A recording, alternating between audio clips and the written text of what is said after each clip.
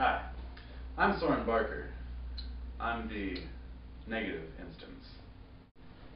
Hi, I'm Emily Sue Randall. I'm the positive instance. This is a violin. It has strings.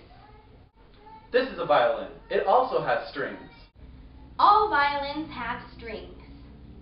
Some violins have shoulder rests. I've never done this before. What do you mean I'm supposed to perform? I'm freezing up! I love to perform. I don't remember anything. How did that song start again? Hey, look, it's a viola! I'm only doing this for a candy bar. I'm doing this because I want to be a better musician. I can't do this. This is impossible.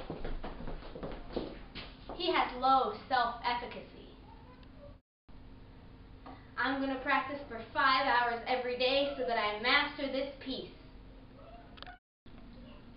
My fingers are so cold.